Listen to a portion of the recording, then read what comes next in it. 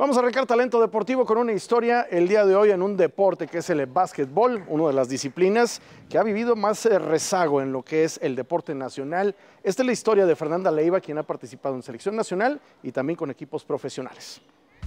Este, María Fernanda Ruiz Leiva, básquetbol y tengo 21 años. Pues sí, tenía de hecho 5 años. Este, mi papá me llevaba a la unidad. Bueno, es que mis papás juegan básquet, jugaban básquet. Bueno, mi papá sigue jugando, mi mamá jugaba. y mi papá me llevaba a la unidad y pues según eso me llevaba con mis Barbies, pero pues no, yo me iba con el balón. Yo quería el balón. Y pues ahí es cuando comienza todo. Este, después de eso mi papá me lleva a entrenar con Alejandro Medina, en paz descanse. Y pues yo creo que ahí es como mis entrenamientos más formales. Pero pues como a los seis años, siete más o menos. Más que nada porque yo se lo pedí, porque, o sea, él sí veía que me gustaba mucho y pues yo le decía, no, pues quiero entrenar. Entonces sí, dice, bueno, vamos a llevarte con mi primer entrenador también de él. Y pues ahí, ahí empecé. No, pues yo estaba bien emocionada, más que nada porque pues era el primer día, ¿no? La, los nervios, la adrenalina que ya quieres iniciar. Pero pues de chiquita era más que nada empezar a tirar, a ver todo lo, lo que necesitaba para los entrenamientos. Pues como soy muy tímida, con mis compañeros era como, no les, no les hablaba los primeros días, pero pues yo creo que ya conforme pasaba el tiempo pues ya me los hice compañeros y compañeras. Y mi entrenador, pues mi entrenador sí me regañaba mucho, pero yo, pues era para bien mío, ¿no? Entonces lo tomaba con calma. No, yo creo que lo que me costaba más trabajo era mis tiros, pero de larga distancia.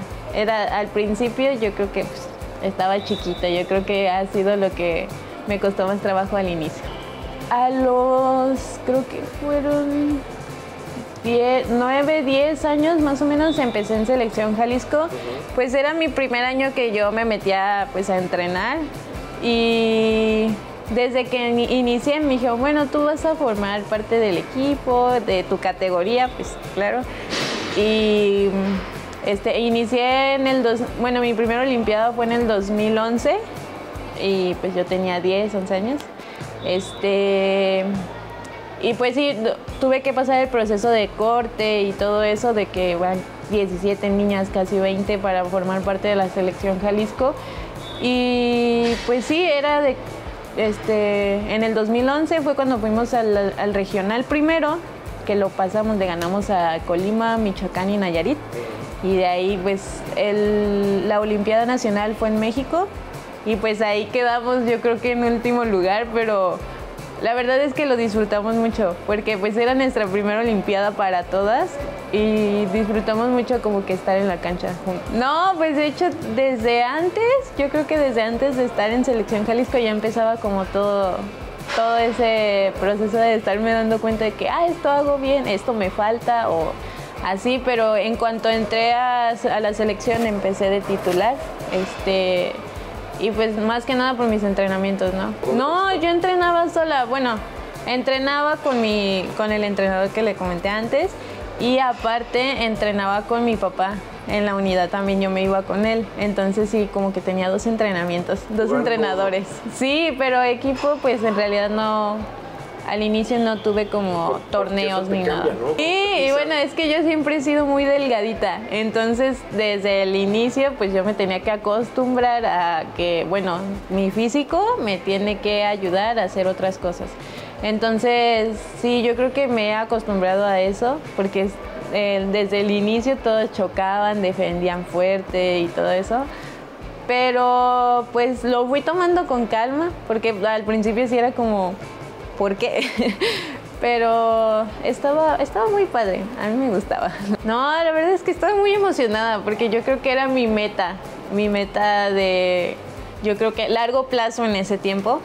Y e ir a la Olimpiada y representar a Jalisco, yo era como que, wow, qué padre, ¿no? Este, ser de las niñas que está representando esa categoría y poder ir con mis compañeras. No sé, estaba muy, muy feliz, estaba emocionada, sobre todo porque siempre me apoyaron mis papás, estuvieron los entrenadores y como que la disciplina y estar entregada en la cancha era lo que me ayudó mucho.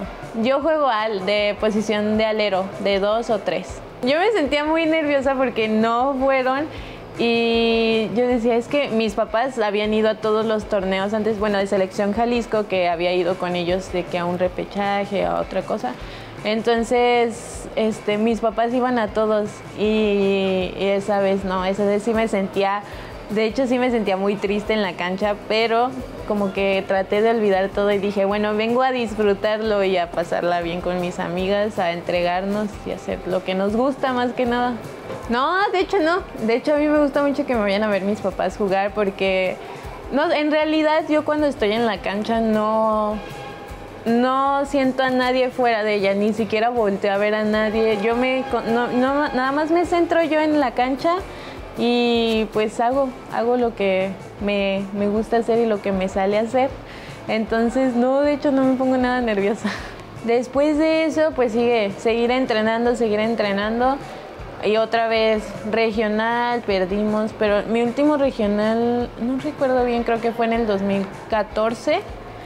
Y en ese 2014 este, también fui a lo de la selección mexicana, cuando ya me llaman. Este, tuve que pasar mi primer proceso de selección mexicana, había como, no sé, 30 niñas. ¿Qué edad tenías?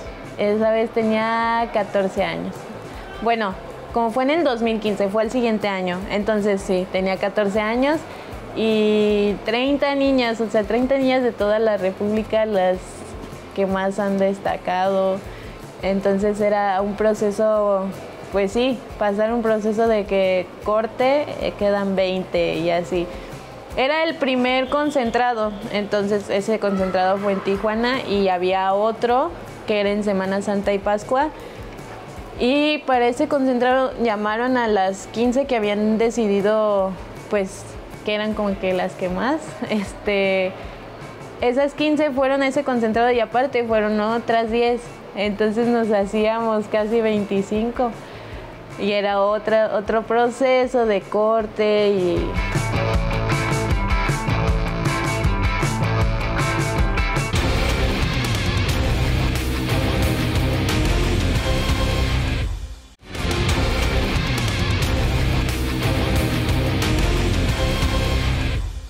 Para Fernanda Leiva, el básquetbol viene desde la cuna, con sus padres que ambos se jugaron a nivel profesional. Ella trabajando arduamente desde los inicios hasta que le llegó la sorpresa, el llamado a representar la bandera nacional. No, la verdad es que no. No lo esperaba, pero sí trabajaba para ello porque pues ya después de mi meta a largo plazo que fue la Olimpiada, fue, era ser selección nacional. Entonces sí, no lo esperaba, pero sí trabajaba y no sé, me emocioné muchísimo. Cuando recibí la carta sí fue como... ¿Y, dónde estaba muy feliz. ¿Te pidieron que te presentaras o cómo fue? Ah, la primera, para selección nacional me pidieron que me presentara en el CAR de Tijuana, que fue la primera concentración. Y pues ahí es donde inició mi primer entrenamiento. ¿Y, fueron tus papás también o ahí te mandaron sola? No, ahí tenía que ir sola. Ahí sí tenía que ir completamente sola, pero los concentrados eran como de 20 días, dos semanas, más o menos 15 días, 20 días. Y sí, pues ahí 20 días sin tus papás. Pero bueno, platicaba con ellos por el celular. Aunque sí, sí, los extrañaba mucho. Sí, de hecho me encontré, bueno, sí, me encontraba a todos no, pues no me había tocado con tantas, pero luego veía fotos y yo, bueno, tú, tú jugaste contra mí en la Olimpiada o tú jugaste contra mí en el regional, pero sí eran cosas que a lo mejor yo no me acordaba y veía fotos y ahí estaban. sí, yo creo que se hacen tu familia después de convivir tanto tiempo con ellas. Ah, número 14. Mi primer partido, ay, no recuerdo contra quién, Honduras, creo que fue contra Honduras. Y no, pues sí estaba muy nerviosa porque fue en el centro básquet, que fue el primer partido. Fue en el centro básquet y yo la verdad sí salía del hotel y nerviosa. Estaba en la cancha y nerviosa. Y yo decía, y ya, hasta que entré a jugar, él era titular también en selección nacional. y entré a jugar y pues ya se me quitó completamente. Yo, eh, bueno, a mí se me quitan los nervios jugando, ya entrando a cancha ya olvido todo. Tenía, bueno, tenía el 11, pero pues ya, ya lo habían escogido, entonces dije, bueno, el 4 y me dijeron, no, también ya está. El 4 es el día de mi cumpleaños. Y el 11 dije, bueno, el 14, porque el 11 llevo el 1. Entonces dije, el 14 está bien. Pues ahí, no, bueno, cuando participé en el Centro Básquet, pues la final nos tocó contra Puerto Rico y de hecho en el Centro Básquet fui MVP de Centroamérica y ganamos el primer lugar. Después de eso nos teníamos que pues preparar porque venía el premundial que era el, en Puebla. En ese entonces se iba a ser en Brasil, pero lo cambiaron a Puebla. Y dijimos, bueno, estamos en México, este... Pero no fuiste a Brasil. No, no fui a Brasil. Pero estábamos en nuestra casa y había muchísima gente, entonces sí estuvo pues también otros procesos de nuevo de para pues seleccionar este que también esos procesos eran un poquito más largos. Bueno, Semana Santa y Pascua pues sí, dos semanas, pero también para para allá. El último jaloncito era como de tres semanas más o menos. Sí, cuando estaba en selección, pues sí venía, estaba entrenando con selección Jalisco y todo eso. Pero pues ya cuando decían, pues ya las vamos a llamar y todo eso, ya nada más me iba, iba a mi concentrado y regresaba. Y otra vez me preparaba aquí, pues me, de hecho me dejaban tareas para mejorar, que la defensa, que más que nada disfruto el divertirme en la cancha y compartir mi emoción con mis compañeras, apoyar a mis compañeras. Yo creo que la intensidad con lo que la con lo que vives en la cancha, dentro de la cancha. Y más que nada porque bueno, desde chiquita me gusta, pero yo creo que sí es eso, la intensidad en la cancha. Pues dentro de esto yo creo que también es acomodar mis horarios, pero aunque ya me desvelo más haciendo mis tareas, pero pues no, no, se me hace tan pesado por lo mismo de que me gusta y me gusta hacerlo, pero sí eh, teniendo las tareas, teniendo los entrenamientos, pues sí está más pesadito. ¿Qué estudias ahora? Ahorita estoy estudiando diseño de interiores en UDG y pues entreno con UDG también. Sí, pues sí, porque acá en UDG tienes que, acomodar tu horario, pues que, que más se te facilite para tus entrenamientos. Entonces, pues sí, como mis entrenamientos son temprano con UDG, bueno, no muy temprano, pero tampoco muy tarde. Entonces sí se me, ahí los voy acomodando más o menos mis materias. ¿Tienes algún Uy, tipo de sí, lo he sufrido muchísimo. Yo creo que es lo que más he sufrido en, en mi básquetbol, porque pues es que soy muy delgadita, entonces el contacto pues sí es muy, muy fuerte, pero pues no, no se me hace imposible yo jugar así con mi, con mi físico, pero sí he tenido dietas y sí he subido un poquito más de peso y sí me ha ayudado, sí me ha ayudado bastante, pero también hay otras dietas que de verdad no, no me ayudan tanto, no... Sí, es demasiado difícil para mí subir, demasiado. A pesar de que la sigo al pie de la letra, yo creo que es lo que más se me ha complicado. Pues sí, me han sacado por un técnico, yo creo, pero en realidad yo al árbitro no le había dicho nada. Yo me lo había dicho a mí y me dijo, no, pues sales por técnico. Pues ya. Sí, yo creo que sí me han tocado varios. pero bueno, pues ya, la verdad es que yo ya les doy por su lado y ya no me peleo con ellos. ¿Y no te regaña nadie? Porque Mi entrenador sí me dice, no hagas caso, tú concéntrate en lo tuyo, pero a veces me, me salgo de mí empiezo a reclamar.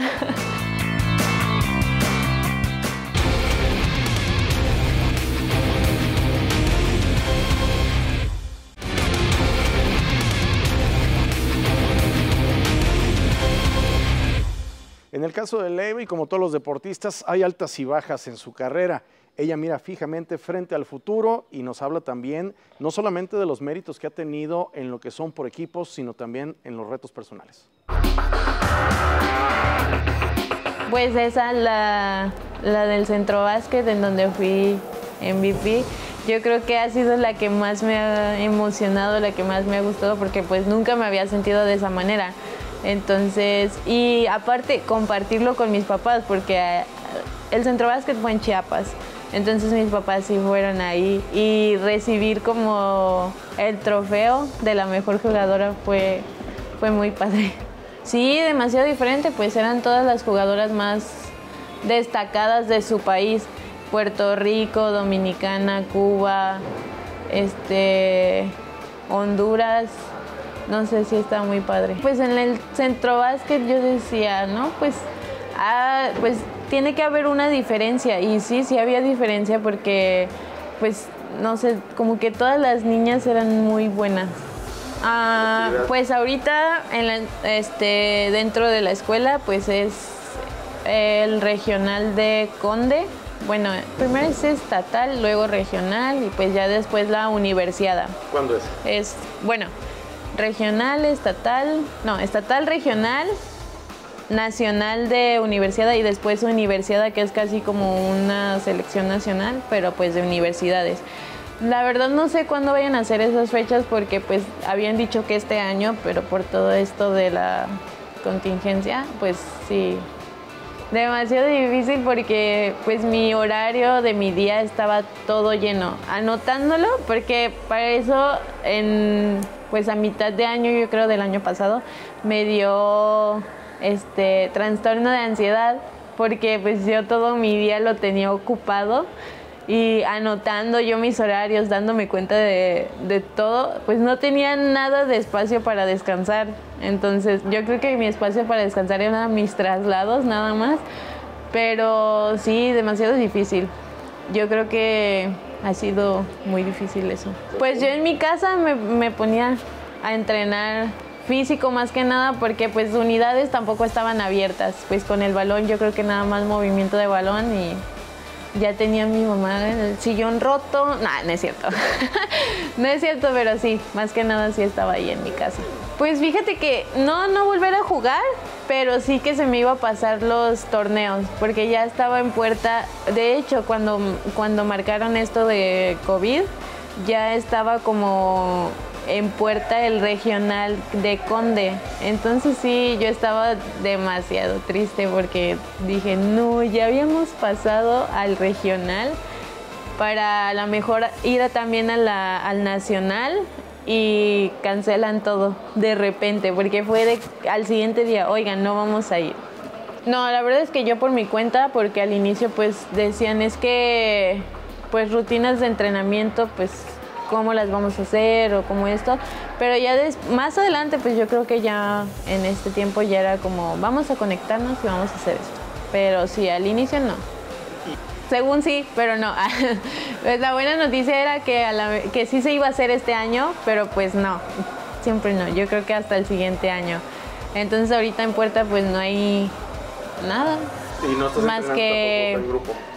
En grupo estábamos entrenando, pero pues ahorita como está lo de las vacunas, no podemos estar en la cancha porque la tomaron como centro de vacunación. Entonces sí, entrenamos, no entrenamos, entrenamos, no entrenamos. Está pues todavía esto. Por el momento yo creo que es seguir preparándome, seguir con la disciplina, porque es lo que más se necesita en, en el deporte, la disciplina y pues prepararme para el siguiente año, iniciar tal vez con un equipo en profesional de nuevo, este, y pues para la para lo de Conde, para el torneo de Conde. Ahora que este año, a pesar de que pasó todo esto del COVID y todo, de que pararon, este, el apoyo a, al básquetbol femenil estuvo muy bien. La verdad es que sí, sí estuvieron apoyando muchísimo al básquet. Yo creo que dejarlo no. Me dieron más ganas de estar en el deporte, en, ese accidente que, tuve. de hecho, fue en diciembre, días antes de Navidad. Ese, ese ha sido el que más me ha marcado en, dentro del básquetbol. Sí, la verdad es que también se me ha hecho, bueno, al inicio se me hacía muy difícil porque entre, bueno, estaba en la universidad. Después de la universidad pues me dejaban muchísima tarea. Luego regresaba a comer a casa, me iba a mi entrenamiento de UDG, de ahí me trasladaba porque pues también en la profesional con escaramuzas. Entonces sí, llegaba muy tarde a mi casa y tenía que hacer tarea, maquetas, entonces me tardaba muchísimo. Me llegué a desvelar. Yo decía, no, ya no puedo, pero dije, no, no, no, sí, sí se puede hacer esto. Con escaramuzas entré en el 2018, semiprofesional, inicié con ellas. ¿Y hasta cuánto estuviste? Pues este año estuve también con ellas. de hecho, el año pasado, pues por lo mismo de, eh, eso, pues se canceló la, liga, pero este año estuve con ellas. El equipo de escaramuzas está, bueno, nuestro equipo está demasiado, o sea, sí está fuerte, tiene muchísimo talento y no sé, o sea, el trabajo en equipo está muy bien también en la cancha. Los entrenamientos también perfecto, entrenador, compañeras. Yo creo que convivimos muchísimo juntas y eso nos ayuda muchísimo, también dentro y fuera de la cancha. Yo lo veo muy fuerte, la verdad es que sí, este, los equipos cada vez están, se van haciendo más fuertes, van reclutando más y aparte le, le van dando oportunidad a las, a las pues, chavas que están jóvenes como yo, que estamos jóvenes, este, le van dando también más oportunidad a, nosotras, como de entrar desde 20, 21 años. Ay, muchísimo, necesito más. no, no es cierto. Pues yo creo que tener salud siempre. Universidad, universidad también quisiera ir y pues seguir en la profesional, tener oportunidad. ¿Tú sos panamericano? También, no, selección mexicana de la mayor. Son cuatro. selección mexicana mayor de categoría de la mayor, también, eso.